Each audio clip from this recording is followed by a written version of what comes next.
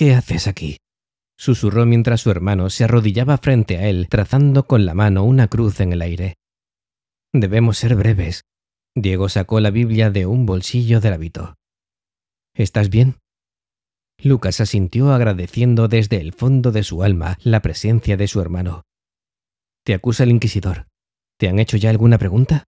Miraba las páginas de la Biblia como si leyese. Lucas negó con el nerviosismo de Diego salpicándole. Me dejaron aquí esta mañana y no han vuelto. ¿Sabes de qué me acusan? ¿Qué crees que me harán? Buscaba la experiencia de su hermano.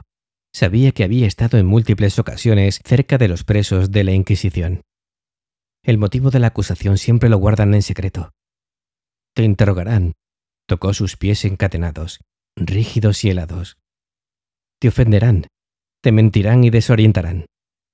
Ocultarán sus fines, Usarán todo tipo de argucias para después atraparte con tus propias palabras. Su voz era herrumbrosa. Te nombrarán a personas que conoces y que no, y te dirán que te han acusado, que tienen testigos, que eres culpable. Mezclarán la verdad y la mentira hasta confundir tu mente. Hermano, ya basta. Una súplica más que una orden. ¿Pretendes acabar con mi ánimo?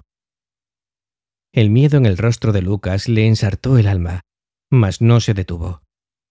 Cuando estés confundido amenazarán con torturarte, y entonces, digas lo que digas, te atormentarán hasta la agonía. Continuó. Si llegas hasta ese punto en que mencionen la sala, ya no habrá marcha atrás, pues si te confiesas culpable lo achacarán al temor al tormento, y si te sigues proclamando inocente te sacrificarán en pos de su verdad,